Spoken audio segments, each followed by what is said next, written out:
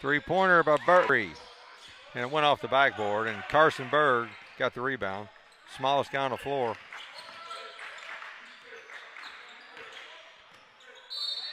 And he gets the basket and the foul. It's up and good. So good look though. He's had three good looks from that corner. They just haven't gone down yet. But Isaac's going to drive down, and he gets it's good. Just a little too strong. Burgs with the rebound. In three and a half minutes, they have added a bunch more to.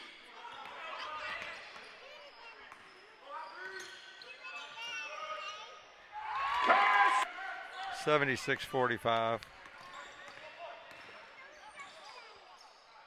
Burgs